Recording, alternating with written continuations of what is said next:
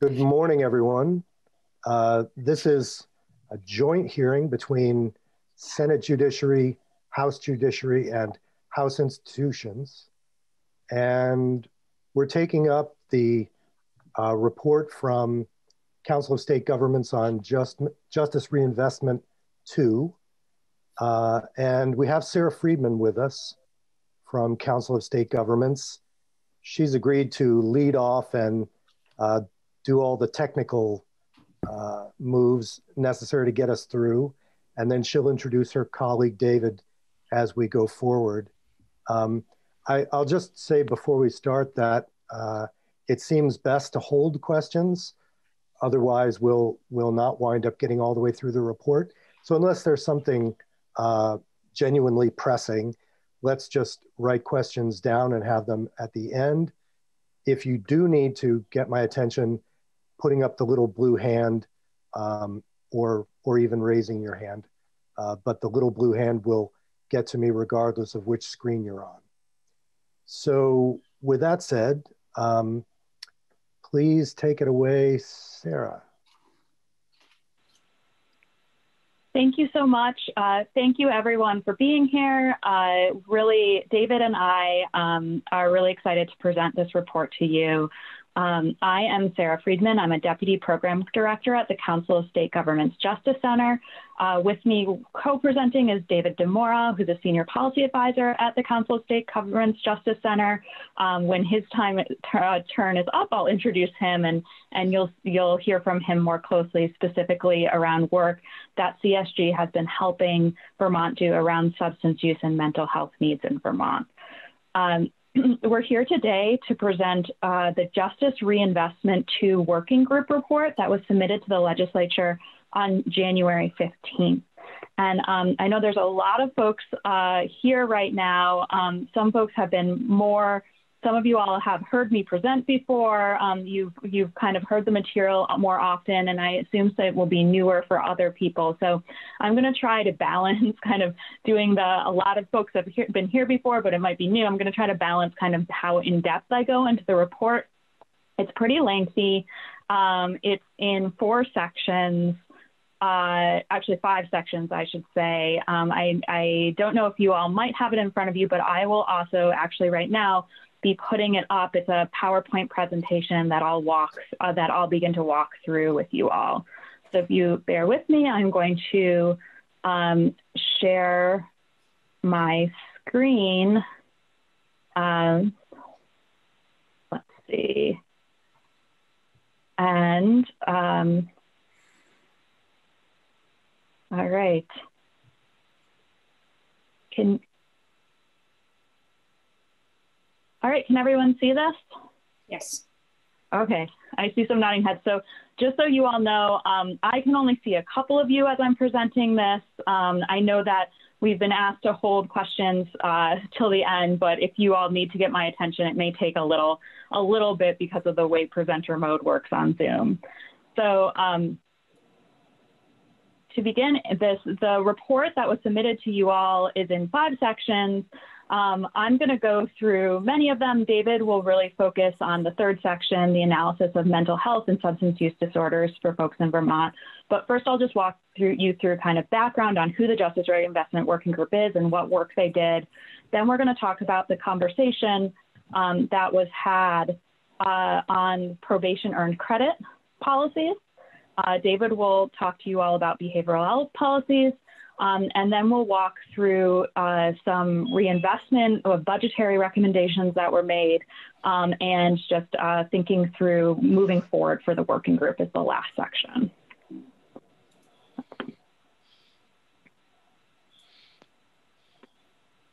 So, uh, as I hope many people here remember, this is all coming out of a justice reinvestment process. So, in June 2019, state leaders from all three branches of government wrote to the federal government, the Department of Justice, Bureau of Justice Assistance, and requested that the Council of State Government Justice Center come into Vermont, analyze your criminal justice system to look at what challenges and needs were going on within the criminal justice system and help the state propose policy options to address those challenges. this was a, a, process. You all may uh, uh, remember my colleague Ellen Whelan Wuest, a, a, fellow Vermonter who led this process um, uh, throughout uh, the end of 2019 and early 2020 that really culminated in Act 148. So, um, pretty incredible despite everything going on with the pandemic. Um, you, the legislature figuring out how to switch to Zoom, all of the other pressing challenges. Um, really a credit to your legislative leadership and leadership in the state that there was still coming out of this process in the middle of the, the kind of state chaos was a really significant criminal justice reform bill in Act 148. This was enacted in July 2020. And here we have just a really, really high level brief overview of everything in Act 148. Kind of the three, three of the hallmark policies were establishing presumptive parole, streamlining your furlough system, which is um, a system for supervising people in the community by the Department of Correction, and incentivizing good behavior for people who are incarcerated or on furlough by increasing earned good time. Um, as part of uh, as part of these policies, Act 148 continues the Justice Reinvestment 2 working group. So the working group oversaw during what we call phase one of justice re- reinvestment it oversaw all of this, pol- this analysis and policy development. And in Act 148, uh, uh, legislative leader said, hey, we want this to continue. We found a lot of value in this working group process, and we would like the working group to oversee implementation of these policies passed in Act 148 and also to study some additional policy areas that we weren't quite able to kind of get over the hill during the last legislative session. And so that's why we are here today. So, what this looked like, just um, for you all to understand the work that the working group put in, is that um, once the bill was enacted in July, uh, leaders from all three branches of government again got together, wrote a letter to the Department of Justice, Bureau of Justice Assistance, and said, hey, could CSG please stay on and keep facilitating this process for us? That letter was approved in August. Um, and then that's when things kind of really got going in earnest. And the working group was able to meet four times between September and that January 15th reporting deadline that's in Act 148 for the first, first report that's due, which you all, all are reviewing now. Now, the working group that was continued in Act 148 is 19 members. Um, it's the same members that, that were there during the initial part of the process before Act 148 was enacted, with the addition of a representative of the parole board, which is Mary Jane Ainsworth, um, added to the working group. Just want to note here there are four legislators on this working group. Um, I think all of, or almost all, maybe not since Senator Sears wasn't able to attend, are actually in this meeting now. So we have folks who experienced this firsthand who are hearing me talk again. Um, Representative Emmons, uh, Representative Grad, uh, Senator Nitka, and then, of course, uh, Senator Sears, who couldn't be here at this moment. But you'll also see in these 19 members, again, as, as Justice Reinvestment always is, representatives from all three branches of government.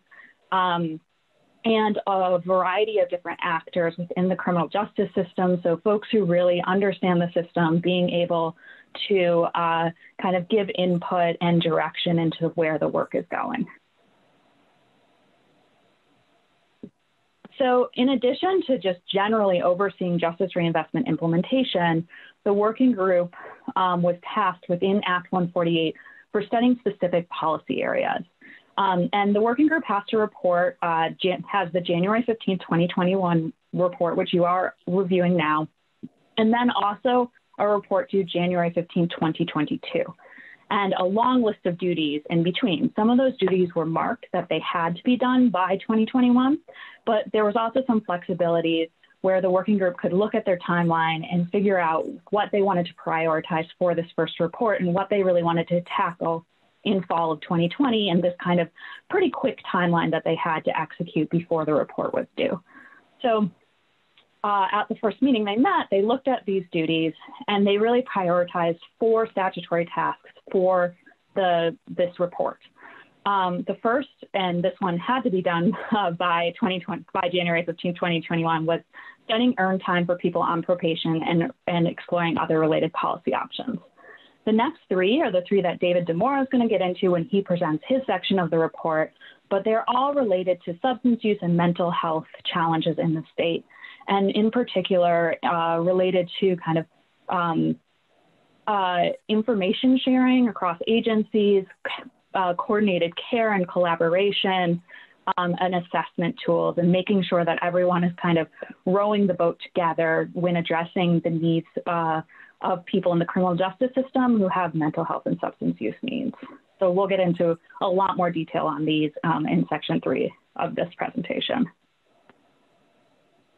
So what this looked like is that the working group was able to meet four times um, before the report was due, in which they, they tackled these tasks that I just outlined and also looked into what they thought budgetary recommendations could be related to strengthening justice reinvestment policies um, and thought through what um, policy options they might want to present for action during the legislative session or for administrative action, so things that did not necessarily need to become legislation.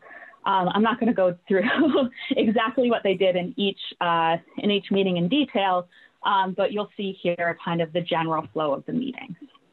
Um, one thing I do want to note is that this report is a culmination of these four meetings. And so the report that you're looking at now really kind of cherry picks the highlights of the four presentations that were presented during these meetings to give an kind of that um, overview of everything the working group tackled while also trying to not get in too much detail or be, you know, too onerous to read. So if there are aspects when I'm presenting and you're thinking, oh, I'd really like more detail on that, you, there might actually be more detail, and there are four separate presentations that this kind of consolidates into. Um, so just to note there, and I can also flag, or if you have questions, you know, I might be able to point you to the right detailed um, presentation that would give you more information on what you're what you're wondering about. But we tried to be at least a bit brief for the this kind of culminating report. Um, also important to know if you're wondering where to access those presentations, there's actually a Justice Reinvestment 2 website that's up on the judiciaries page, um, where all of the materials from the meetings are posted as well, along with the YouTube videos um, because everything was live streamed. So there's a lot more materials on the Justice to Reinvestment 2 working group if you all are interested. So now I'm going to dive into the probation earned credit midpoint review conversation um, that the working group undertook um, uh, during this process. Now, there's a few things going on here. One, a lot of, uh, several folks, I should say, um, who are listening now have already heard me present this.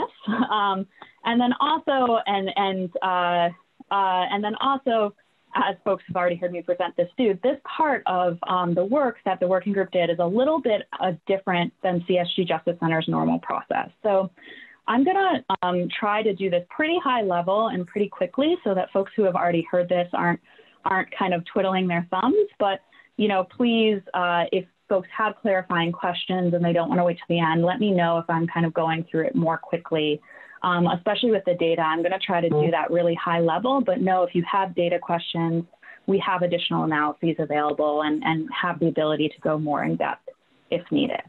So Act 148 tasked the working group with evalu evaluating the policy for people on probation uh, earning one day of credit towards their towards their suspended sentence for each day served in the community without a violation. And the Act 148 actually goes into pretty specific details about exactly what the working group should consider with this probation policy. So they ask, it says, working group, we want you to look at how to implement this policy without impacting probation term or suspended sentence length, whether credit should apply to both maximum and minimum suspended sentences, whether credit accrual uh, equal to the imposed or statutory maximum terms should result in discharge, etc. Um, I won't bother to read the other ones because because you all get the point, but there's some very specific details they have to do.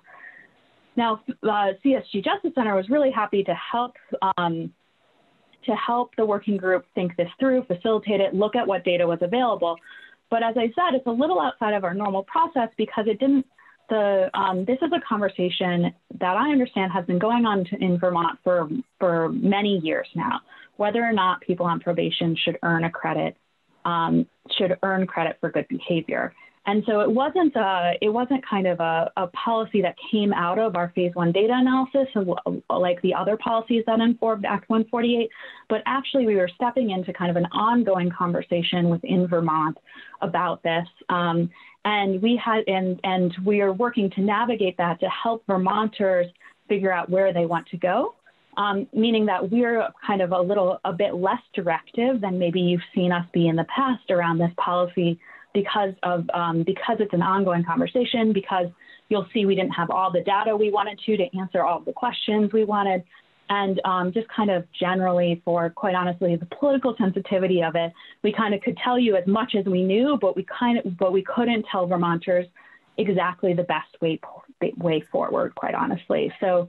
Um, this you'll see uh, when we presented policy options to the working group, which we'll review in just a minute, usually when we present policy options, we are, we are saying, hey, we really want you to adopt all of these. But it was different for us. Instead, we said, hey, you know what, here's, here's two different routes you can go. And we can tell you kind of the pros and cons of each route, but we can't, we can't say like, you should definitely take this path or you should definitely take this path. This is like a very kind of Vermont specific decision that needs to be made.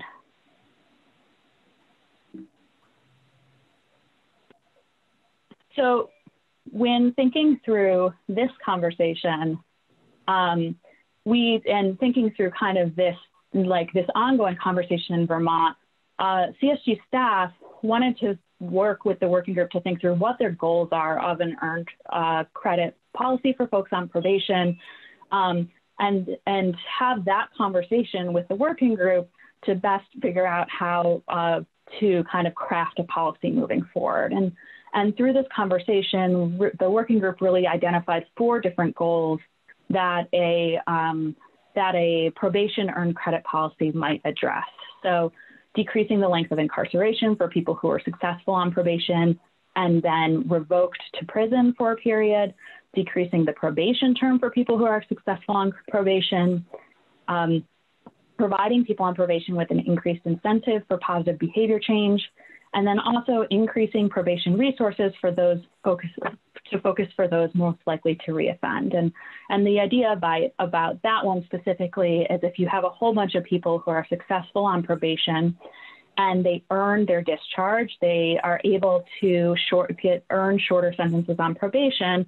So you get all of those people who are really successful, who are doing well in the community off the probation rolls, then your probation officers who are um, providing supervision to people on probation, they are left with the people who are struggling, who are at higher risk to commit future crimes, et cetera, and they can really focus their resources, their time and attention on those folks who, um, who are not being successful on probation. So this is one of these places in this report where there's a lot more detailed charts for folks who are really quantitatively minded in CSG's second presentation to the working group. But for this report, we kind of picked the greatest hits. And because a lot of folks on this committee have heard me uh, talk about all these numbers, I'm going to go through them pretty quickly.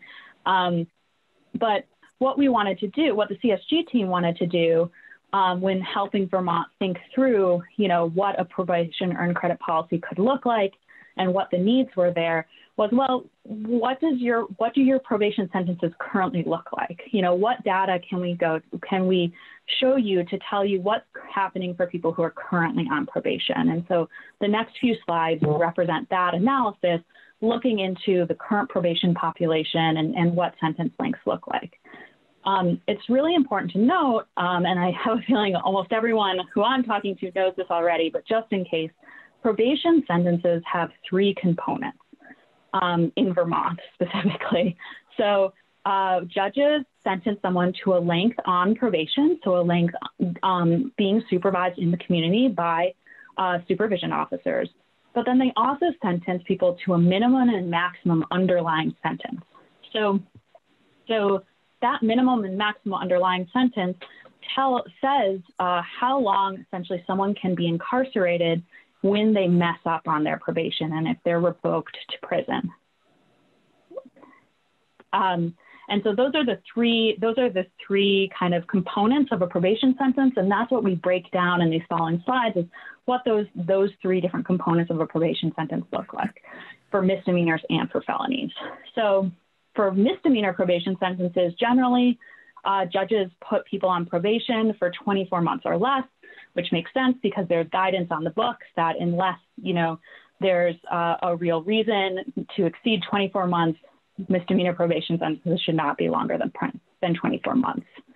Um, for those underlying min and max sentences for misdemeanor probation, um, they tend to be significantly shorter than the actual amount of time someone is placed on probation. So, for example, from this chart, if you're uh, for a person, for a typical person who's placed on probation for one year, their underlying minimum and maximum sentence, that underlying amount that they can be incarcerated, is three to six months. Now, for felonies, nearly all felony probation sentences are less than five years. Um, you'll see here in this chart, there's these spikes. Those spikes are kind of, for the most part, at the year mark, at 24 months, at 36 months, 48 months, et cetera. Um, there is uh, statutory guidance that probation sentences should generally not exceed four years, but we do see that you know a chunk of people in Vermont do get probation sentences for four or five years. For the underlying minimum maximum sentences, the underlying suspended incarceration sentence for people on felony probation, it looks actually pretty different um, than misdemeanor probation. So um, those incarceration sentences are generally the same length as the probation term if someone gets probation sentences of over two years. But for folks uh, with probation sentences of two years or less, their actual underlying of incarceration sentence of incarceration is actually longer than tends to be longer than um, than the amount they're sentenced to prison. So, and if you look across all different felony probation lengths, so across all felony sentences, the median, under, median underlying sentence uh, is one to three years of incarceration. So really important if you all are thinking, you know, are people successful on probation? Should they earn time off their probation sentence for being successful? It's really important to understand, uh, well, when do people mess up when they're on probation? You know, uh, when, if someone is revoked on probation, when does that happen in their probation term? Um, and so for misdemeanor probations, for misdemeanor probation sentences, it occurs, tends to occur well within someone's first half of their probation term. So from this chart, for example, if you have a probation term of one year, uh, the typical person who, if, if someone has a probation term of, of one year and messes up on their probation, they typically do that in the fifth month um, of their probation term. And as probation sentence, misdemeanor probation sentences get longer, you see that it, it occurs kind of even earlier within the probation term. So if you're someone who got four years of misdemeanor probation, um, you would mess up and then you would typically, and you're someone who messes up on probation, that would typically happen in the ninth month of, of your uh, probation term. So across all different misdemeanor probation sentences, um, the average person who is revoked, uh, has their supervision revoked, is revoked in their seventh month of supervision. So um, for felony probation, this actually doesn't look so dissimilar.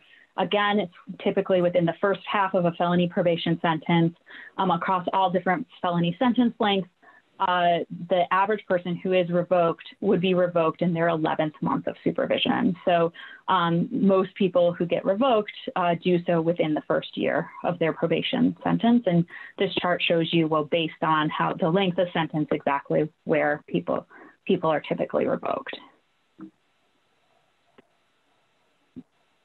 So um, we, the CSG team didn't really have the data available to us to, to answer all the questions we would have wanted to answer to fully understand a probation earned credit policy. Um, there, we, we know that there are already two mechanisms on the books in Vermont that allow people to shorten to earn um, time off their off their probation sentences. One is called the midpoint review. The other is just uh, that there is a policy that once people complete this, the um, complete the conditions of their supervision, DOC can petition the court to shorten their probation sentence. But we had no idea how often those two mechanisms were used. Um, uh, and you know whether how often they were used or how often they were approved by the judiciary. Um, we don't know how often and for how long probation terms are extended as a result of a violation. Um, we weren't able to see the imposition of minimum and maximum suspended sentences, how that correlates with the amount of time someone spends in prison on a revocation, etc. So we didn't really feel like we had the full picture um, in order to provide kind of this directive guidance on exactly the best way to craft a probation policy. However, um, do want to note that 38 states across the country have some sort of earned compliance credit or earned discharge policy for people on community supervision. Um, so this is a really common policy nationally, and a lot of states have seen success with it, even if we don't know exactly, uh, even if you know we don't know exactly how it could look in Vermont. So even though we didn't have this data, uh, actually, really interestingly, um, the the working group really dug into the probation earned credit policy, discussing it uh, in their uh, um, October and November meetings, and then in December, like two weeks after the last time they discussed it. Uh, Pew released a really comprehensive study on these policies specifically. Um, and that study did find that nationally, many people on supervision serve longer terms than are necessary for public safety, and that many states have enacted these policies and not had negative impacts on public safety. Um, and so it's a really interesting report. I think I've sent, we've sent it um, to the Senate Judiciary Committee, but we can make sure that everyone has access to it if you all are interested. It walks through all these different policies nationally and gives case studies on states that have found success with them. And at the end, it really concludes um, well, the study recommends to state policymakers um, that they should adopt similar policies to what the working group had been discussing. And in particular, it it highlights three different aspects of policies that it thinks uh, that kind of Pew thinks research really supports. So um, enacting policies that have goal-based supervision to prioritize outcomes as opposed to time-based supervision, um, earn compliance credits to promote positive behavior, ensure, encourage compliance and increase successful supervision, and automated automatic review of supervision to ensure that states use clear and definable guidelines to determine eligibility for earned discharge to ensure fairness. So all three things that the working group really did dive into and discuss. So uh, at the end of this discussion and in the January meeting for the working group, CSG really put together two policy options for the working group to consider that were based on where we heard the conversation going during the um, the October and November meetings. Um, so really following where we felt like the working group was kind of forming consensus and the two different types of policies that the working group had discussed in those meetings. So we were kind of articulating back to the working group where we thought they were going. Um, the first of these options was to do to kind of um, adopt the probation earned credit policy, the day for day credit that uh, Act 148 asks um, the working group to study. And, and it seemed like when discussing this credit, where the working group was landing was to apply uh, the, the, credit to the underlying minimum sentence. Um, and then there were also some conversations of applying it to the underlying minimum sentence until there were only 15 or 30 days remaining of incarceration so that if someone could be revoked if needed um, rather than their minimum sentence going down to zero and kind of that removing the tool of revocation. Um, ultimately, this option was not adopted by the working group, um, but there was comment, and, and that should and that should be to say that we did present this, CSG did present this as, hey, we think you should do option one or option two. Um, and representation from the ACLU stated that um, uh, stated that you know they didn't think that option one and two were mutually exclusive, that the working group could have adopted both. Which I guess uh, at least lets the cat out of the bag that the working group did adopt option two. Um, and this was based on conversations that the working group had around the midpoint review process, which is a mechanism Vermont already has on the books to shorten people's probation sentences if they um, are being successful on probation. So, um, that's at the midpoint review. At the midpoint of someone's probation sentence, DOC right now can petition the report, uh, uh, can petition the court to discharge the remainder of someone's probation sentence. And this is really kind of where consensus felt like it was going um, in the working group discussion. So um, the uh, the kind of recommendation from CSG was to modify the midpoint review process to make this more presumptive and encourage its use using a model of earned discharge policies from other states such as Montana. And this is to say that although it's not in the working group report, uh, the working group did review specific policies from other states, one of which was Montana um, during their their October uh, working group discussion. So um, you see here some specifics on how to make kind of this existing statute more presumptive and encourage its use um, modifying language from may file a motion to shall file a motion for DOC to do these at the midpoint review, requiring judges to grant a request for discharge unless they determine it's not in the best interest of the person on probation or would present a risk of danger to the victim of the offense. And then also, if someone is not ready to be discharged at their midpoint, making sure to set up additional opportunities um, for them to be able to um, kind of prove that they are successful, and again be recommended for discharge later in their sentence.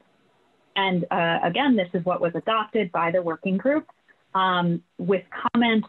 Uh, just to, to be clear, the represent um, the Vermont Network Against Domestic and Sexual Violence did state the importance of honoring the rights of victims, ensuring proper notification and communication uh, processes are incorporated into this policy if it's when it's adopted um, into statute. So um, this is kind of so that that's where the policy discussion of the working group went and what they're ultimately recommending to you all as the legislature um, for addressing this, these probation issues. Um, regardless of what of legislative or administrative policy changes, it's really important to remember that this um, these improvements to probation are part of a really large, a much larger picture within Vermont um, that justice reinvestment has been helping you all tackle in improving your community supervision um, system generally. So that's probation, parole, and furlough um, to reduce technical violations that result in prison revocations. And this really needs to be part of a holistic package of improving the effectiveness of how people are supervised in the community by community supervision officers through graduated sanctions, use of incentives, um, and other research informed practices to promote positive behavior change. Also, it needs to be part of ensuring people receive the services they need um, uh, uh, while in the community to address their criminogenic mental health and substance use needs. And of course, increasing community based resources for people on supervision uh, with these mental health and substance use disorders are really, is really important if we want to help people be successful in the community and not come back into the prison system. Okay, with that, I get to uh, take a pause and catch my breath and pass the baton to David, um, who is going to talk uh, with you all about the mental health and substance use work that uh, we did with the working group this past fall. Good morning, everybody. Uh, thanks for the opportunity to talk with you all again. Uh, as uh, with the things that Sarah was covering, some of you uh, will have heard of this previously, and so you'll be you'll be hearing it again. Uh, but we're going to go through what we see and what we recommend and what the working group recommends uh, in terms of substance use and mental health needs among folks. So Sarah, if you're going, you'll be handling the slides, I believe, if you would move to the next slide. So the working group prioritized three areas of study looking at issues related to mental health and substance use, and they were outlined in Act 148. That includes determining whether the screening, assessment, uh, case planning, and care coordination gaps existed, if any, uh, for folks with complex mental health and substance use issues that are in the criminal justice system and to recommend improvements where needed.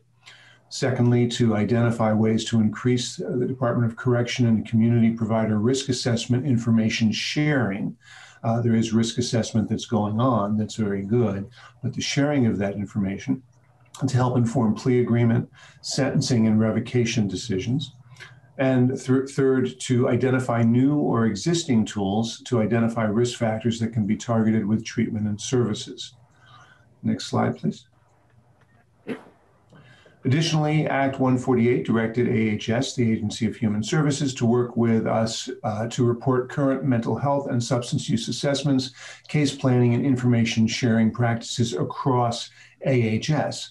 Um, and so part of what we looked at uh, together with AHS was uh, what kind of information uh, do we need to make decisions? And so we took a collaborative cross system approach to gathering the information.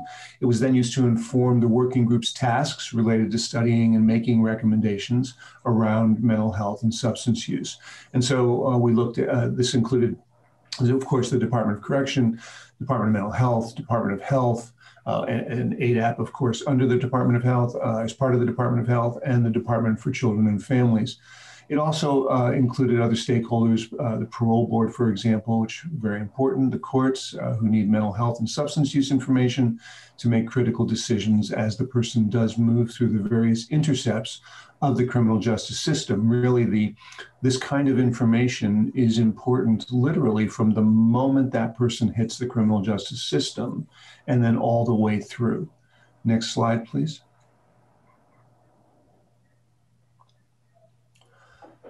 Now, the, uh, one of the upsides is that as we looked at assessment and screening processes, Vermont really does a very good job overall in terms of screening uh, and assessing for mental health needs and substance use needs. In terms of uh, folks who are detained, there's a substance use screener and a mental health screener. For those folks who are sentenced, there is the substance use screener, the mental health screener, as well as follow up clinical assessment. The same is true for those folks that are on furlough or parole. And for those folks on probation, or meaning going directly to probation, there's a substance use screener, uh, there's follow up clinical assessment as appropriate. There uh, has not been the use of a mental health screener. And uh, one of the things that we have pointed out is that that needs to be put in place.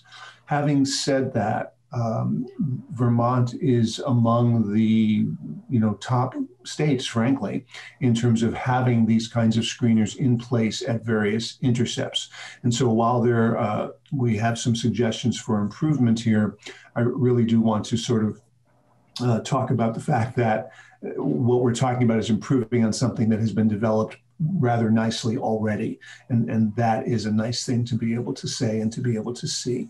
Next slide, please. Now, Vermont does have treatment case planning policies that are in place, but the reality is that folks are still inconsistently connected to community based services and specifically community based mental health and substance use services, which are the ones that I'm focusing on here. Uh, there's correct community correctional programming services. That's a different discussion, just to be clear. What we're really talking about here are the mental health and substance use treatment services. The importance of them is that because of the complexity of Vermont's criminal justice population, because Vermont has done a really a very good job of uh, weeding out, if you will, lower risk folks what you are left with in terms of your population are the folks that are the most complex. And the complexity isn't simply that they are, quote, more criminal. They may or may not be.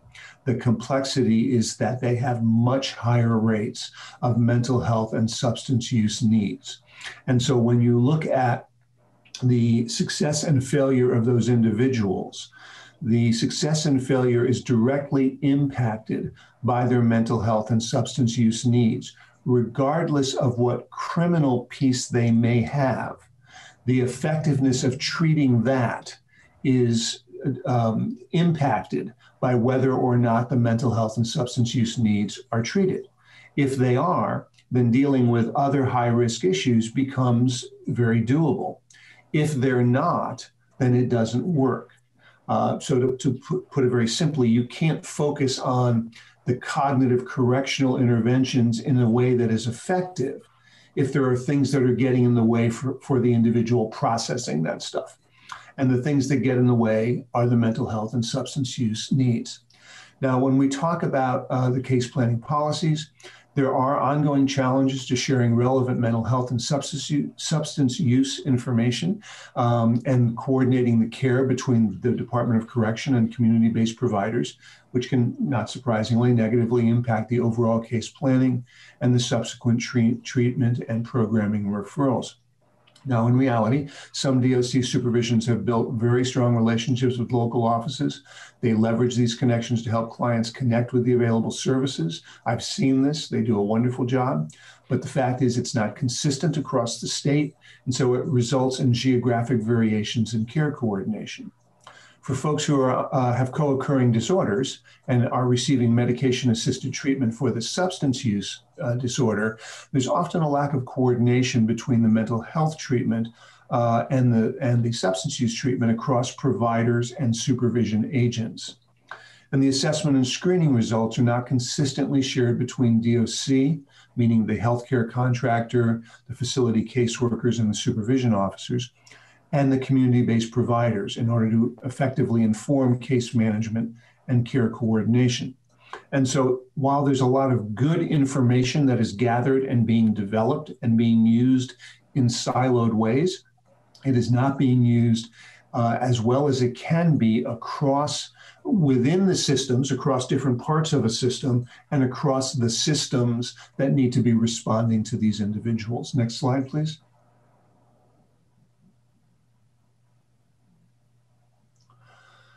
Um, the mental health and substance use information sharing between the Department of Correction, and community based providers, and the parole board remains inconsistent. Current information sharing between supervision officers and community providers is generally based on relationships, as I mentioned before, rather than on established processes or policies, and therefore it varies widely across the state.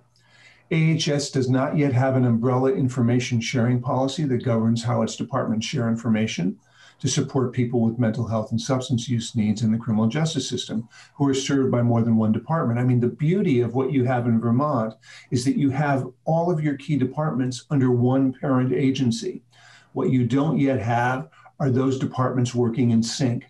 I also need to say that they are clearly focusing on this issue. They have started meeting, they have started uh, interagency meetings. They are working on an information sharing policy. So I want to give a lot of credit to AHS for beginning that process as this information became uh, available and obvious that these problems existed. Uh, they, they are not sitting back and waiting. They are beginning to dive in to look at what can be done. For folks that are sentenced straight to probation, uh, there's less mental health and substance use assessment and screening information available to inform the supervision conditions than there is for people transitioning to furlough or parole. Or, in other words, too often what happens is the court makes stipulations without the necessary information to inform those stipulations. What that results in uh, are really two different things. One is people getting ordered to programming that they don't need. And secondarily, and, and arguably even more problematic, people not getting ordered to programming that they do need in order to succeed. So what happens is they have to fail once before that programming gets in, they get involved in that programming. We're suggesting that that, that needs to be looked at right up front and the determinations need to be made uh, at that beginning stage that the courts need to have the relevant information to make those decisions. Next slide, please. Uh, Vermont does face several challenges uh, to improving information sharing. Uh, there are real and perceived limitations related to federal privacy laws and regulations, including HIPAA and 42 CFR Part 2, which is the Substance Use uh, Act. Uh, I say real and perceived because there are, in fact, um, very specific rules that have to be followed what we find typically and what we found in Vermont is that there were lots of perceived uh, barriers that actually HIPAA and 42 CFR don't say, um, but that people believed that it said. And so they were saying, we can't do this or this or this.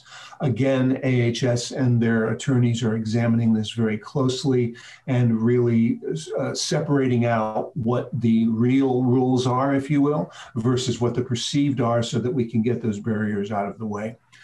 There's inconsistent knowledge among DOC staff, parole board, and other criminal justice stakeholders regarding evidence based practices for serving people with substance use and mental health needs.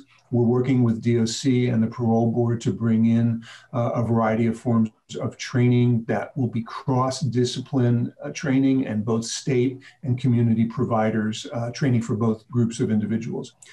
Uh, because of, uh, and, and the reason for that has to do with the inconsistent knowledge among the community based providers.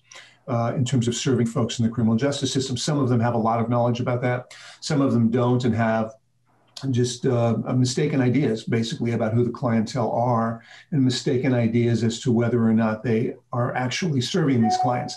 what we know from around the country is that in reality, a very large number of people that are served by mental health and substance use programs, even if they are not involved with the criminal justice system at the moment, have been at some point.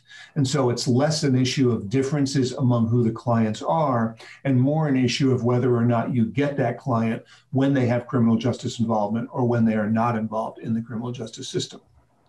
There is, of course, a lack of resources to address some of the geographic disparities in mental health and substance use disorder uh, services. And so, in some cases, the problem becomes knowledge that, that, they need to develop. And in some cases, it just doesn't exist. It's not in that area. It's not an issue of knowledge, it's an issue of lack of resources.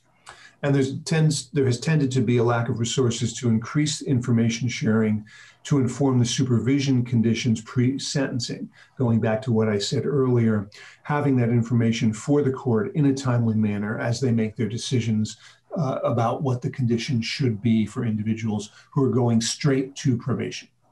Next slide, please. So in January, the working group adopted four recommendations related to mental health and substance use disorder for inclusion in the reports of the legislator.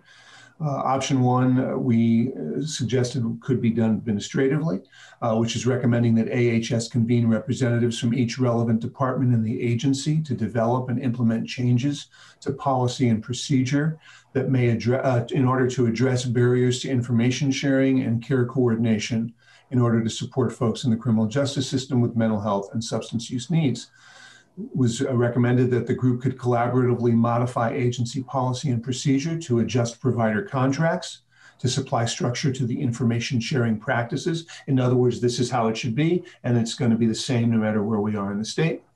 To standardize the AHS mental health and substance use needs information sharing between the Department of Correction and community providers, including the sharing of relevant assessment results to adopt a collaborative, coordinated case planning model. There shouldn't be 10 case plans for an individual. If somebody is in the criminal justice system, there should be a master case plan that is then coordinated among all of the various services that, uh, that people need to be receiving. Uh, and so, what you see too often is are the development of uh, sort of seven different plans, and, and those plans sometimes have crossover, but very often the different system actors are not aware of what are in the other plans. So you have both duplication of services, and in some cases, you have a clash of services because there isn't a coordinated plan in terms of how to give whatever that individual may need uh, the appropriate services in the appropriate ways.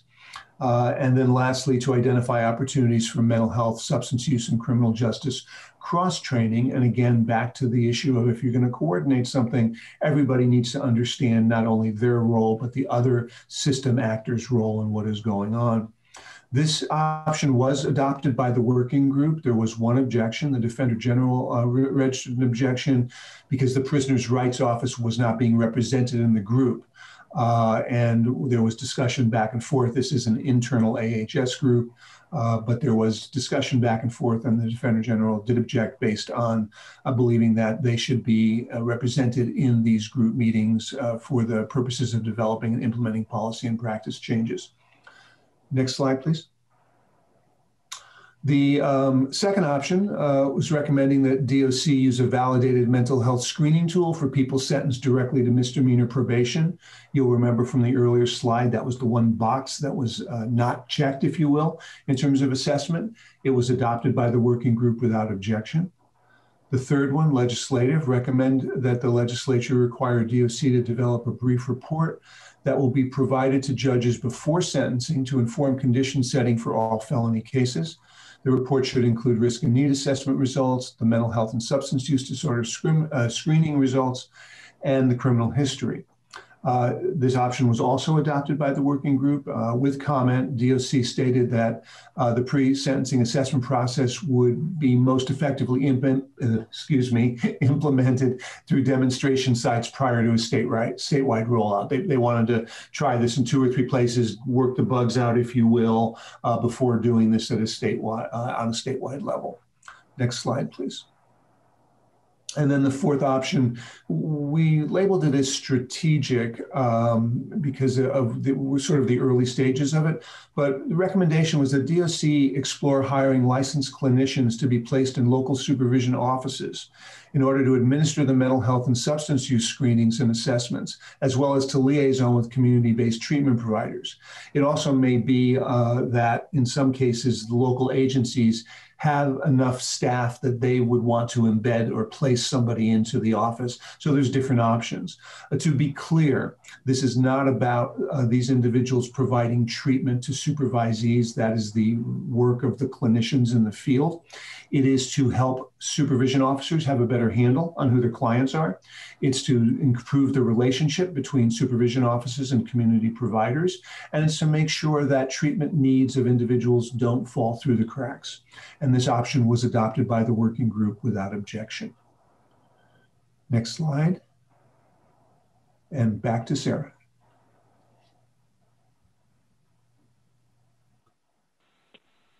Sorry, a little second to unmute there. Thank you so much, David. Um, and really for this next section, I think you'll probably be hearing from both David and I, but uh, in addition to, so uh, what we've just reviewed are really the policy options recommended to the legislature. However, um, and these were the things that were actually adopted by the working group. However, there are two additional conversations that the working group had, although they did not adopt anything or vote on anything, that we wanted to make sure were kind of documented in this report.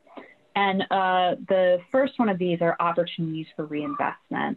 So we actually, CSG Justice Center staff actually heard from the working, from a variety of working group members early on in the process when we were kind of, um, when we were laying out the schedule for what would be covered in the, in the four meetings. Um, that folks wanted to return to the conversation on budgetary investments into uh, into justice reinvestment policies that had been started prior to the pandemic. And then, you know, the pandemic happens and life gets all out of sorts. And, um, and, uh, and I think, you know, was mostly felt like a, a little unfinished. Um, and so, with this in mind, in the November working group meeting, and then again for discussion in the January working group meeting, CSG Justice Center staff presented uh, to the working group options for fiscal investments to bolster justice reinvestment policies, um, particularly policies in Act 148, but generally um, just the kind of all of, to to address the challenges found challenges found through the justice reinvestment process. So you know, just to just to be clear, and you'll see this written here, these were not adopted by working group members, but they were just discussed by working group members. And these are ultimately, you know, recommendations that come out of CSG's thinking. Um, so first off, really helpful to acknowledge that in the FY 2021 budget that was passed this fall, um, kind of while the working group was still in the beginning of their meetings, um, there was reinvest what we call reinvestment into Act 148 policies, um, which was to uh, invest any out-of-state bed savings um, from DOC into domestic violence intervention programs. Um, so we want to acknowledge that that happens, that or that investing out of state bed savings is in the, the most recent budget that was passed. However, in addition, we made uh, a number of recommendations um, for the upcoming budget cycle of ways we can could strengthen these policies and address needs. Um, and so that is $200,000 to maintain investments in domestic violence intervention programming. So it's not really enough to do a one-time investment in domestic violence intervention programming. This does mean to, this is an ongoing need. And this is where I'll actually kick it to David to talk about this specifically, because you'll hear it's uh, David's passion point for Vermont.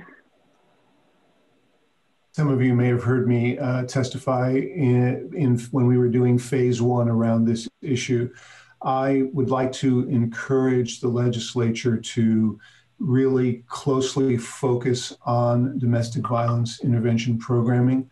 With the best of intentions, Vermont has made some problematic decisions in responding to domestic violence, and uh, programs uh, were defunded.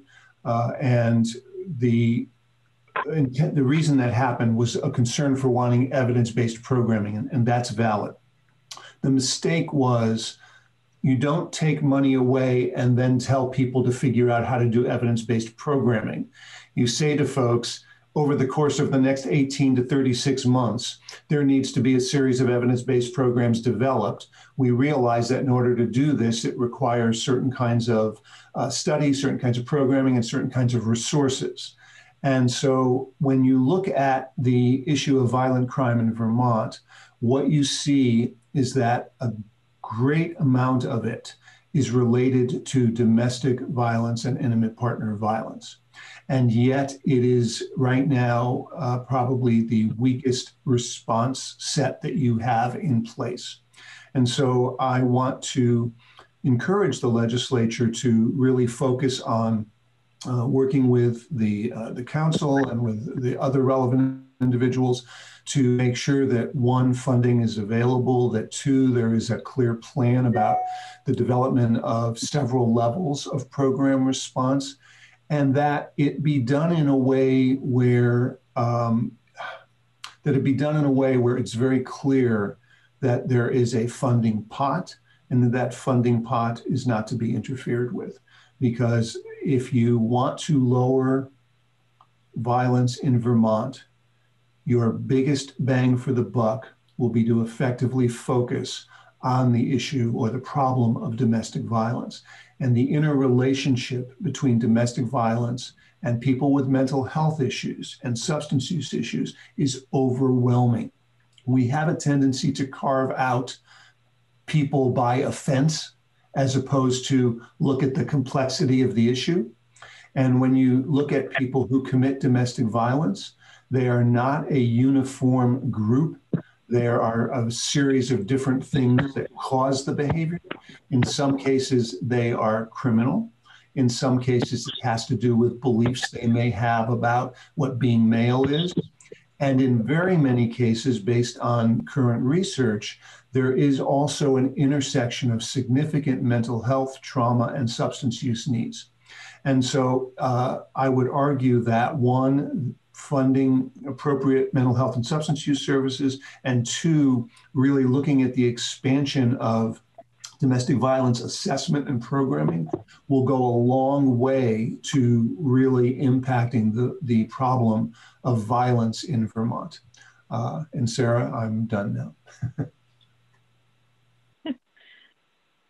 Uh, thanks so much, David. Um, and I, I, have a feeling you might also have similar things to say for the next item, which is 400,000 to target gaps in mental health and substance use for communities uh, in uh, use community services for people on supervision. So you've already heard David talk about the real needs there um, uh, in his previous section, uh, this money would go to AHS to be distributed to the Department of Health, uh, ADAP, and the Department of Mental Health for them to really assess what uh, programs need to be bolstered and where the gaps are and, um, and fill those gaps uh, for people in the criminal justice system.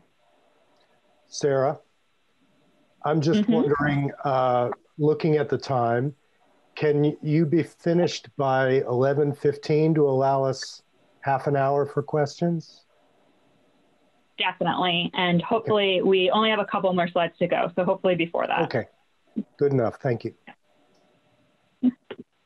Um, we also have a recommendation for $300,000 to strengthen transitional housing options and advocacy. I have a feeling that it's no surprise uh, to folks um, on uh, in this Zoom that you know uh, housing uh, in Vermont is generally a problem. You all have housing uh, stock issues and very, very low vacancy rates. And it's even more so for people transitioning from the criminal justice system into the community. And there's a lot of churn going on there. uh, where people are having problems finding housing in transitional housing programs, et cetera, and then coming back into incarceration. Um, so this $300,000 would uh, provide training to increase uh, the housing providers' adherence to best practices for people uh, in the criminal justice system and also with mental health and substance use disorders. Um, create uh, to help increase housing stock um, and, and landlords who are uh, interested and willing to rent their um, their apartments to uh, folks with criminal histories by creating a, a funding pool to decrease the risk for, for those landlords. And then also to uh, set up additional assessment tools um, that folks can use within the criminal justice system to better identify what housing needs are out there so that in the future you all can have a better understanding of what your needs and challenges are and then uh, target kind of pinpoint solutions to target those those challenges. Now, th- those were the uh, funding items that we were able to kind of put, uh, you know, um, put actual number amounts to. There are additional things that cost money uh, that we do think that uh, Vermont should consider, although we weren't able to pinpoint um, specific numbers on them. So another thing that's important is to strengthen uh, Vermont needs to strengthen its data uh, kind of collection and analysis capacity generally, but um, but also to increase funding to um, uh, to support data-driven decision making for DOC's data system specifically, uh, so that that, that so that the um, data coming out of DOC is uh, better uh, able to be analyzed and shared. Um, and then also we did note um, the racial disparities in, crim- uh, in, the criminal justice and the criminal and juvenile justice uh, advisory panel, RJAP, um, did uh, a report and did a whole bunch of work coming out of uh, Section 19 of Act 148. They were directed to, to study and make recommendations um, and just that to support that their recommendation to create a three person body charged with definition, collection, and analysis of data pertaining to racial disparities across the juvenile and adult criminal justice systems. It's very important uh, that Vermont have a better understanding of what is going on related to racial disparities in the system and, and really put additional data collection and analysis, capacity towards it. Um, what's really uh, What's really wonderful to note, I should say, since this report was submitted on January 15th, the governor has released uh, his budget, and $900,000 is in the budget related to these funding recommendations um, for justice reinvestment policies. So uh, the the um, the domestic violence intervention programming, the mental health and substance use funding, and the housing funding is currently in the governor's budget we really appreciate, um, you know, the governor's staff is, rep, uh, is uh, represented on the working group and really appreciate uh, the thought that they put into that um, to kind of push some of these funding recommendations along. When we first started this and people asked us, well, you know, what money would you put towards this um, in the beginning of the fall and uh, in, in August and September? We're kind of like, oh man, it's a pandemic. um, you know, like the budget situation, state budgets across the country are extremely tough right now. Um, we weren't really expecting anything, understanding that there's just a lot of competing priorities and a lot of really tough decisions being made around budgets. Um, so uh, it was really impressive to see folks taking this seriously despite tough budget situations. That that these were policies that um, that Vermonters wanted to support, and we really appreciate that. Uh, Chair Emmons. So, mm-hmm. yeah. Oh, sorry, I thought I saw your hand go Uh, Sarah, is is that uh, the extent of it? So there's just a really quick wrap up section, and I will do this. Uh, yeah, I will do this in less than five minutes, I promise. Um, just to think through, the working group also is thinking through their own sustainability and what you know what they're going to look like moving forward. So just to flag that for folks. Um, so the working group discussed uh, ways um, for the, their own work to continue um, the justice reinvestment efforts in 2021 and beyond. And, and what I really want to flag for folks within this section is right now, CSG Justice Center is providing kind of staffing and facilitation support for the working group. But we're actually only funded to be in Vermont through the end of 2021. So um, we're not going to be around when this the second working group report uh, needs to be submitted in January 15, 2022.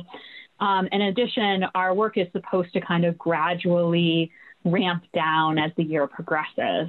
Um, so we really wanted the working group to consider their own sustainability when we're not able to facilitate the process, and for folks in Vermont to think through if the working group is process is feeling successful and useful to folks in Vermont, you know, what should they be working on, and what should that look like moving forward? So the three kind of uh, the three things that we've discussed with the working group is, you know, is there in-state staff to, to support ongoing justice reinvestment to working group meetings in 2021 and beyond um, once CSG is no longer able to support the process? Um, you know, what should the regular meeting schedule be moving forward? And they did set a meeting schedule for the um, for the last six months of 2021. They'll be meeting four times. Um, that was accomplished uh, during the meeting.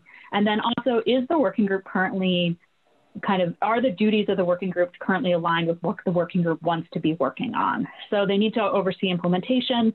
They also have a few additional duties that they didn't tackle, they didn't have time to tackle before their report. Um, these are to study the efficacy of presumptive probation sentencing, to evaluate the policy of parole eligibility for older incarcerated adults, um, and then, of course, they have this other report due. So, are these the things they want to be tackling moving forward? And how do they want to sustain the working group process when CSG kind of has to take a step back? So, just to kind of um, make sure that everyone's aware that that's going on. And those are also conversations the working group had around their own sustainability. And then I believe we just have the last, this should be the last page of the report, is just um, the four working group meetings that were scheduled during the last meeting um, throughout 2021. Uh, and uh, if um, and there's also here a link to where all of the materials are on the Supreme Court's website, um, and Merrick being the, kind of staff, the in the in in Vermont staff support for for the working group meetings. So now I am complete. we've we've worked through we've worked through all of it. Well, thank you so much, Sarah and David, um, and thank you to CSG for huge amounts of work that we are indebted to you going forward. Um, questions? We have we have a little over a half an hour, um, and I guess I'll respond to um, blue hands. But first, I wanted to ask the two chairs whether they have any questions. Uh, Chair Emmons, Chair Grad. I do not. I would just encourage uh, members of all the committees just to ask some questions. Okay. Um, so blue hands, I don't currently see any. Uh, Representative uh, Campbell has his blue hand up. Yeah. And then Representative Coffey has her hand up. I don't know if you okay. can see that, Phil. I and then oh, Representative yes. Colburn has her. Now I do. Okay. Uh, uh, Representative Emmons, would you like to? Because um, my my, uh, my eyesight is not as and maybe I can see it better. So we'll go with Representative Campbell, then Representative Coffey, and then Representative Colburn. Great. All right, thank you. Um, I am wondering whether the group discussed um, restorative justice as, as part of the system as well.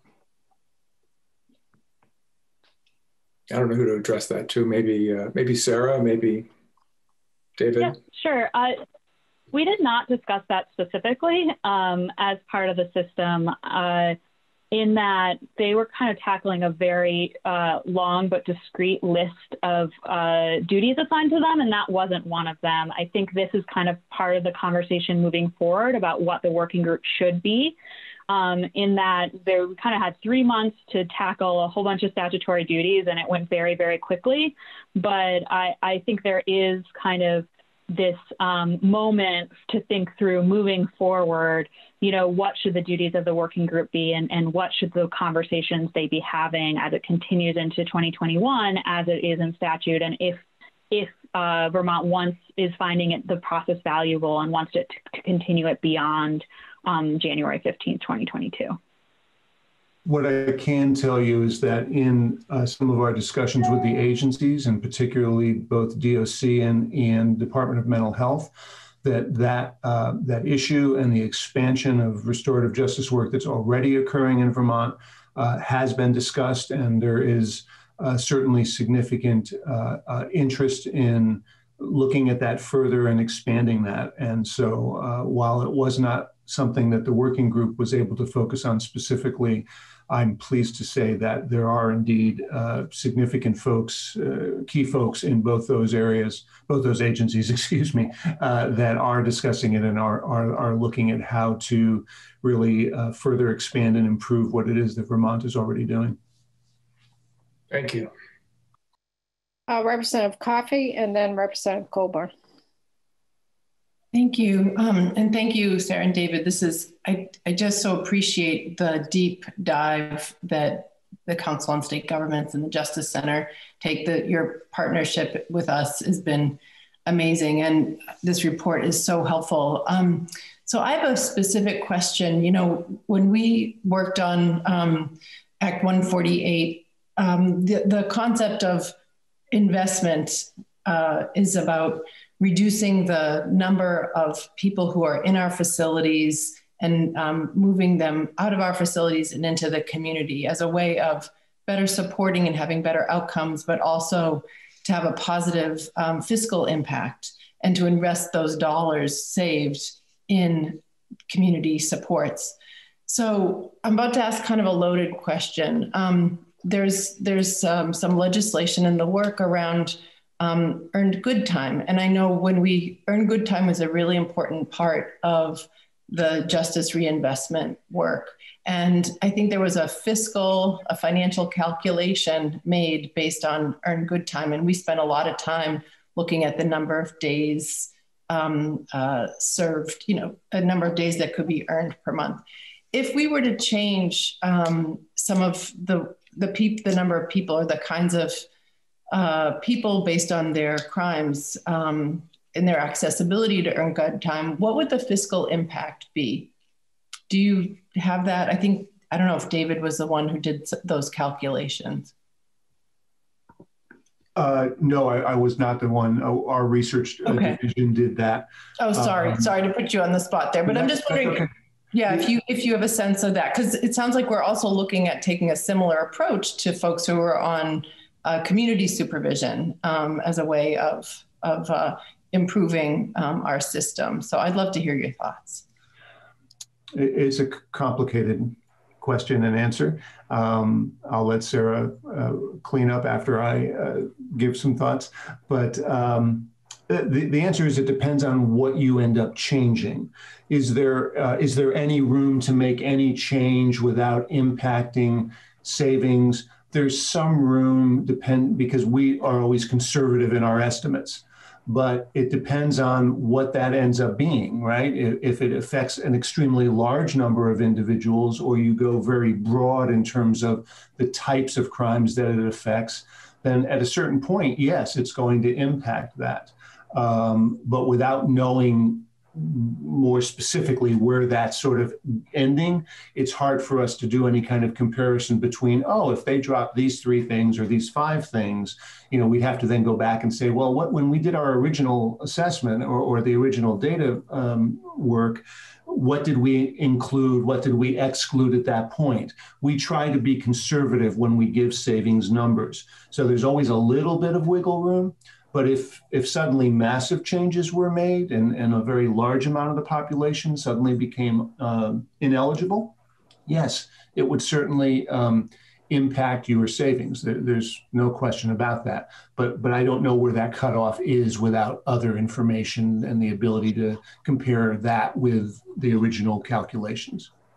Sure. I mean, I don't think that has been made. So I, I appreciate the, the answer. If we, is it the kind of thing that if we if we hone in on that, that we could get your your technical assistance in helping us do that?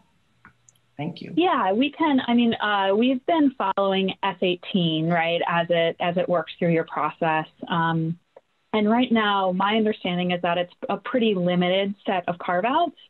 Um, so I do, off the cuff, um, which means I'm a little reluctant to say this, but um, I don't have those numbers at my fingertips, but with my current understanding of S18, I don't. I although I think it will have an impact, I don't think it will be a very large impact because right now it, it seems like a pretty limited carve out. But we can look at that specifically and rerun our numbers based on um, based on what that looks like now, and, and we'd be happy to provide that information. Um, I think I think that generally, based on my understanding, is that there would be an impact, but as it's written right now, that the carve out hasn't is not huge. It hasn't been expanded to you know all listed crimes or the Big 12 or you know um, that you you all are probably in in decent shape there. But I'm um, happy to do it. Uh, I we can look at the most current draft of S18, or if someone wants to send us you know, what they, another set of carve outs that they think might happen, we can model that. Uh, Representative Colburn. Thank you so much. Um, and thanks so much for your presentation this morning. It's been really informative. Uh, I have a, just a couple questions and a comment. And since I don't see another hand up, I'm going to assume it's okay to just kind of dump them in one go unless I hear otherwise um, from the chair. But both really of my questions relate to some of the data you shared. And the first is about the probation revocation charts that we saw. And I'm just wondering how much variation there is in the underlying data there. Like, how I think the question I'm trying to ask is how typical is that average? You know are we mostly seeing a lot of data that looks like that average or are we seeing all stuff that's all over the place that kind of creates that average so i would have to go back to the original data and really um, you all are making with that angie gunter who is we have a research staff on our team she's really wonderful Wish, wishing that uh, that she was on here to answer your questions directly because she would be able to answer it, you know, off the top of her head. Um, uh, my sense is that the average was, you know, the typical. Um, I know that, you know, using average versus median, and, and there are reasons, but um, I don't think that the average was being pulled up or down by outliers, which I think is what you're asking.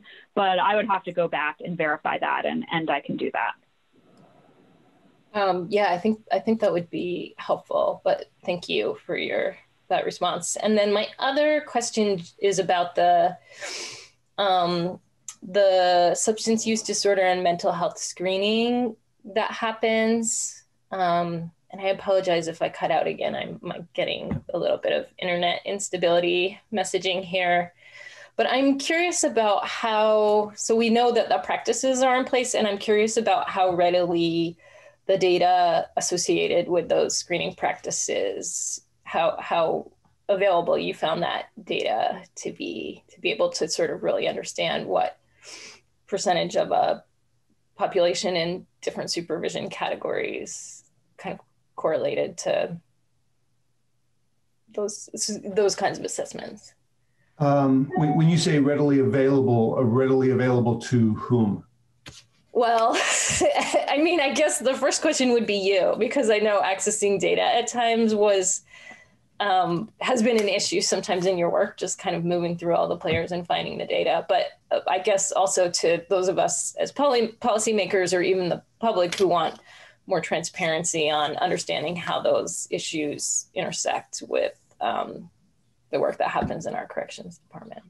So the the the complication in answering that is that it depends on what intercept you're talking about.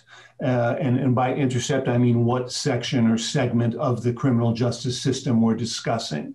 And so if we're talking about within the Department of Correction in terms of the assessment data, that assessment data is available internally, anything that has happens within the department, and it's also available to all of the supervision officers, uh, excuse me, officers.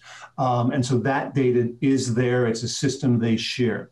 Where it gets um, where, where the sharing problems become more problematic are when we look at information sharing between different agencies, say, for example, the Department of Correction and the Department of Mental Health or the Department of Health, or when you're looking at information sharing between any of those departments and, say, a community agency or the community agency back. That's where the focus and the work on the policy shifts are really happening and need to happen because all of these folks play a major role. If we're talking about the screening that happens initially for those people who go directly to probation, that information, when it's done, and right now it's substance use screening, not mental health screening, although they're going to put that in place, that information um, is always available to the court my review of that was that whether or not, how do I want to say this? Um, there's there's availability and there's whether you use it. And so uh, what you have are variations in whether or not the bench says, I want this information before I make this decision. And in some cases, the bench does. In other cases, they don't.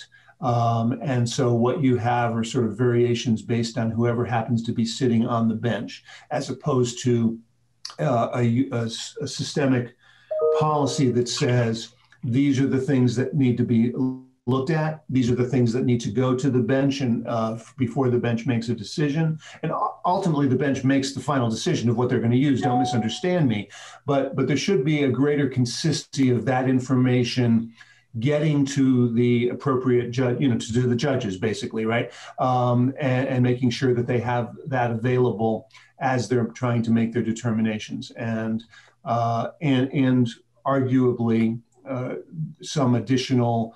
Uh, discussion, you know, judicial education kinds of things that happen every year as to why and how that plays into making the best decisions uh, for that individual. So it's it, you have so again to boil that down, within systems, you've got a lot of good information sharing. Between agencies, it gets a bit problematic. Once you get between the state system and the community system, uh, that's where it really falls down and where the big focus in terms of change uh, has to happen over the coming year. Is that helpful? It is. And I just had one, um, maybe more of a comment than a question. Um, that I was really happy and excited to see the recommendation about cross training for um, people who are supervising folks in mental health um, crisis issues and in substance use disorder. And I'm just hopeful that that recommendation extends not just to folks who are supervising people in community settings, but also in incarcerative settings, just thinking about our medication assisted treatment program in corrections, I know that um, sort of at times worker, you know, buy-in or just information about why that program exists has has been a question, and so hopefully it's a whole, that would be a holistic recommendation. Uh, very, very much so. Uh, it, it, you know, Vermont uh, reminds me of the Chicago jail problem. Um, Vermont's Department of Correction, for all intents and purposes, is the largest mental health provider in the state um, and they have the largest number of mental health clients. Uh, and, and uh, I should say mental health and substance use clients, just to be clear. Uh, and and the uh, uh, the failure rate that you see in Vermont is not because of the high criminogenic risk of your people, although that exists. Don't misunderstand me for some of them. It is because of those uh, and I use the word ancillary as in supporting uh, issues of mental health and substance use. And so uh, there, it does require a change in the cultural thinking of systems uh, because who it is that those systems are dealing with are not the people that they were dealing with 20 years ago.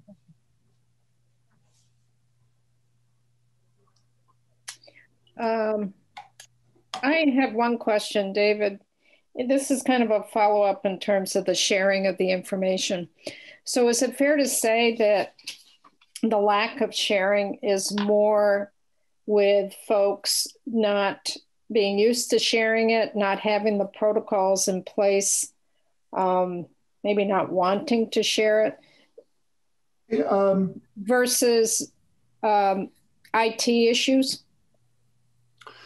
Oh, you have IT issues. Um, I, I, so let, let, me just start with that one. Um, you have IT issues. Uh, you have major IT issues, and uh, those IT issues are uh, certainly cause problems. Um, and those IT issues would require a significant amount of investment to fix. Uh, you have too many disparate systems. You have systems that are not well developed in some cases, uh, meaning technically uh, well developed. So, so, that is real. Um, and that is a technological problem. The other side of that is that you also have what's some kind, sometimes called an adaptive problem or a cultural problem, which is the belief, uh, what you see is uh, too often a belief that uh, the system that you're working in is the one that's supposed to fix it all. And so uh, you have the agency pretty, you know, uh, and I'm a clinician by training, and so I've been guilty of this, right? I've got the right view on the world, and so that's the only view that, that exists. Well, that's not true. Um, and so the information sharing, uh, there are different reasons for that. Some folks don't share information because they're afraid that they'll be judged for what they have or haven't done.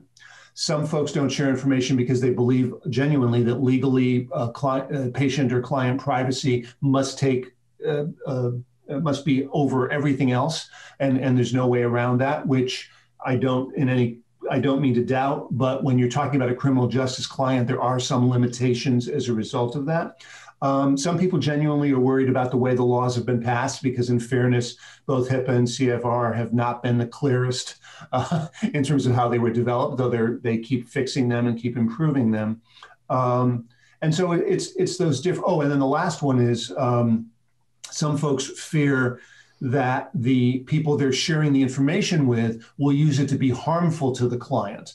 You particularly get that from uh, uh, mental health and substance use agencies, particularly mental health agencies, when they're dealing with criminal justice supervisors, et cetera. So you have a series of different issues uh, that are, I would argue, are all based on the fact that you don't have the appropriate cross system training and knowledge and understanding of what each group's role is and how each group actually plays a significant role in the success of that client.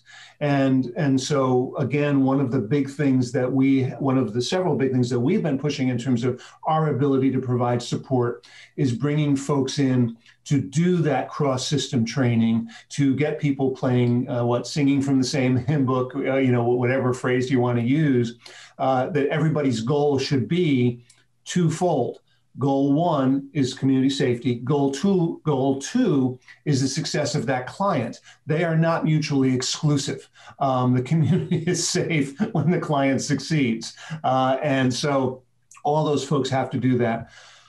The best information sharing, uh, how do I want to put this? Uh, if I had an unlimited purse, you'd have a you'd have a system that was consistent across all of your agencies with the appropriate firewall so that people could only access what they should access and you wouldn't have what is essentially right now a system where it's dependent on the goodwill of too many individuals to do the extra work to make sure it gets to the other folks. Um, and I realize that's an expensive process and you're not going to be able to do that right away. But I would argue that one of the long term technological fixes that Vermont should look at is a, and I would argue that it needs to be looked at by a group of uh, interdisciplinary individuals, not just your IT group, not just your your um, user group, but but by an interdisciplinary group of what is working, what isn't, and what do we need to have in place to get the end result we want. Too often, what I see are people keep putting band-aids on an existing system when something new comes in but they still don't get the end result they want. So what's the end result you want and what do we need to build to do that? What do we already have in place? What do we need to or, or do we need to dump it and change it? Um, and i don't know what the answer to that is for vermont. I just know that what you have now um, does make it a bit more difficult for the information sharing to happen in a, in a, a uniform manner. David Sorry, um, thank you I, I, just want to remind folks if they can mute if they're not uh, speaking. We're getting some interference. Um, uh, go ahead, Chair Emmons. I don't see any more questions. Oh, I, I do. Uh, Okay. uh, I, yeah, I had sorry. Representative Rachelson. Yep. Sorry. Thank you. Um, so my question is this: when we, when you were talking about um, making sure that there's funding for um, evidence-based programs, I very much appreciated that. I'm wondering if you, when, when you were looking at domestic violence, for example, were you looking sort of within the framework of a correctional system? Um, well, let me phrase it this way.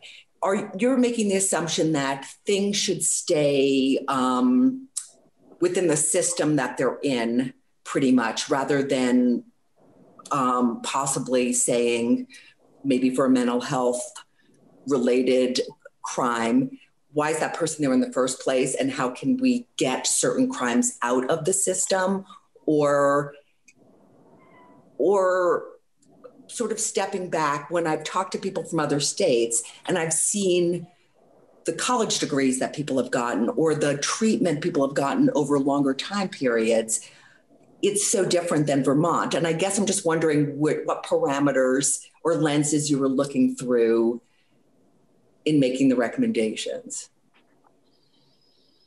Um, I want to make sure I understand the question. Are you asking whether or not the response to domestic violence should be a criminal justice response? Um, I mean, that one popped into mind first, but not.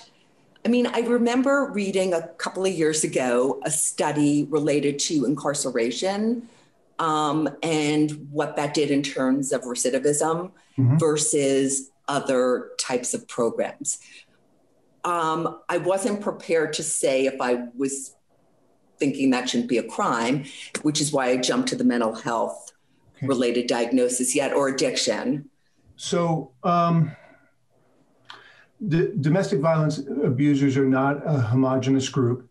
Uh, there are a percentage of them that, um, so, so first of all, we underestimate and under respond to domestic violence as a country. Uh, and when we look at the correlation between domestic violence and mass shootings and domestic violence and other kinds of violence, it's overwhelming. So it is indeed a criminal justice issue per se. Having said that, the fact that something fits into a certain system doesn't mean that that system has the only set of responses that will make a difference. Um, and separating the issue of incarceration versus community, the the issue so, so this uh, this isn't a very subtle way of saying it. some domestic violence abusers are just stupid, and and the simple fact that they are exposed stops their behavior. Some of them have some extremely uh, societally inculcated issues about males versus females in terms of traditional patriarchal thinking, and they're a lot more resistive. And then there's a group, the top 25 or 30% of the group, who are um, very, very big criminal thinkers. Meaning, on top of everything else, they, they, you know, Monday they robbed the convenience store, Tuesday they beat up a little old lady, Wednesday they, they domestic violence. So what happened is that we created a one size fits all response that effectively responds to that lowest group of people. And we don't effectively respond to the middle and upper group. And the middle and upper group are where you have those interactions of mental health, substance use, and criminogenic thinking. And Right. so it is a multi-systemic, res- and they need to be held accountable. That's not my point, but it Right. is a multi-systemic response in terms of being able to move them forward and to change the behavior. So, David, can I ask you a follow up? Um, I used to work with um, women who had addiction issues and were pregnant or parents. And one of our collaborating partners was an OBGYN. And she wanted the kids to, she wanted to make sure they were getting prenatal care. So she really did not want to emphasize the illegality part because she didn't want to scare people away from getting treatment. So I'm wondering about those kinds of intersections of um, knowing the help will go far, but um, somebody might get caught up in the wrong system in the meantime and be too afraid to engage.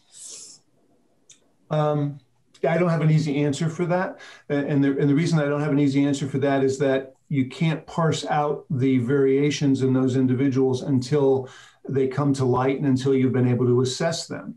And there are some people that a very light touch in terms of the criminal justice system is all you need for them to move forward. And there are others where you very much need um, a, a fairly tight hand, if you will, um, to, to um, manage them, if you will, or contain them for, and I don't mean necessarily in a prison, but contain them uh, for a period of time until certain things sink in.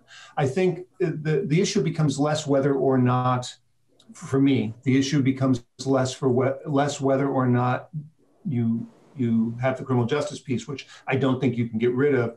It becomes how you're approaching them, and one of the one of the failures that we've had in approaching certain types of violent crime, domestic violence, sexual violence, some other things, is that we've made assumptions that somehow they are fundamentally built differently than other people. And uh, in fact, what we now know is that while there may be some quote special needs in terms of their issues, that the overwhelming amounts of things that we know work with others will work with them as well. Uh, I, I would not, I would not, however, to be honest, I would not say that we, how do I want to say this? That they do need to be in the system, though, in some way where they're held accountable. But we need to not confuse accountability with the assumption that people can't change. Same thing with addiction, you would say, because oh, that. Yeah. Okay. Thank you. Uh, Representative Donnelly. Hi, thank you. Um, I'm I'm really excited that you all are looking at ways to enhance collaboration between the worlds of mental health and, and probation and parole. And I guess one of the questions that comes up for me, one of the obstacles that often comes up in terms of more integrated um, operations with mental health is um, funding uh, streams and that there's often sort of competing funding streams and that you know can we bill for this essentially um, and if what we're talking about is a lot of more sort of case management type services and being able to show up at meetings and things like this i'm just curious if in your work um, you've looked at whether there's funding within the DAs that's currently available for the kind of collaborative efforts that you guys are talking about, or whether this would require creative funding streams in order to um, incentivize people to be able to show up at the table for these kind of efforts. Um, the, the, short answer is yes um, to both of those things. Uh, there, I think there are currently there is currently some ability to do that. I know, for example, some community agencies have already said that they want to do this and believe they can do it within their current structure. Other agencies cannot. One of the things that we were recommending in terms of the money that would go for mental health and substance use services uh, that's in the governor's budget is that it go to AHS so that it could target the delivery of those dollars to meet the different kinds of needs. And so for, for some places, it might have to do with the dollars would be helpful in order to have some of these meetings. In other cases, the dollars might be helpful because they can't provide service B, but now they can provide service B because they've got those dollars. And that's not to suggest that the 400 will answer all those problems, but it will get that started so that you the wheels start turning in terms of that process. Uh, and so, and, and again, like everything else in Vermont or any other state, part of that ability of doing things with current funding depends on where you are in the state and, and what the um, solidity of your particular agency is uh, or size of your agency is and different funding streams. And Representative Taylor. Yes, um, I gather that in 2015 or so, the Vermont State Auditor looked into or did an investigation on transitional housing programs in Vermont. I'm wondering whether you looked into that report at all to see whether the recommendations by the auditor were followed or how they've been worked out. Um, I, will I, no, I don't believe so. Uh, that would have been outside the scope of what our uh, what we were asked to do. But Sarah, I'm going to ask you to just confirm that because that was not my area. Uh, yeah, as far as I know, I mean, I'm sure that we read that report as background material as developing, but you know, um, the kind of tracking down the follow through was not within the scope of the project. Okay, thanks. Okay, I don't see any other questions. Uh, so last call for questions. We have just another couple of minutes. Seeing none, uh, Chair Emmons and Chair Grad, anything else you'd like to uh, add?